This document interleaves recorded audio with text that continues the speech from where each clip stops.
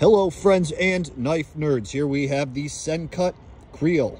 This is a very cool knife and probably one many haven't heard of. It has micarta scales. That nice burlap, I believe micarta. I'm not positive that Sencut uses.